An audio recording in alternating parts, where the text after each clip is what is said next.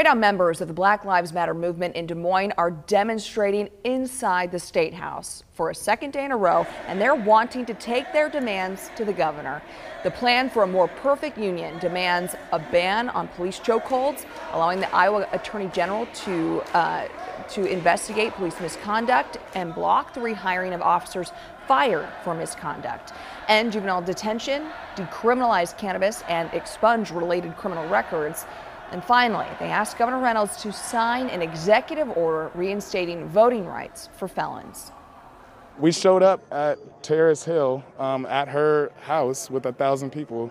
Um, when we did something similar, at least Frank Cownie did come out and listen to our demands and, and at least move them forward. We, became, we were really disappointed with the meeting on Monday, but at least he came out and addressed that we exist.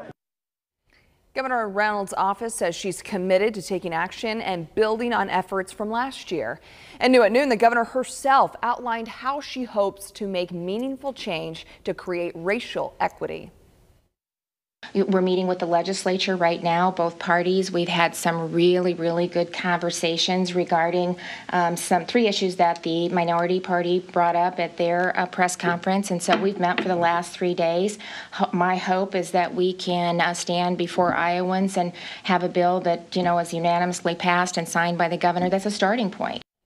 And the governor said she has not yet met with Black Lives Matter, but is hoping to having those conversations.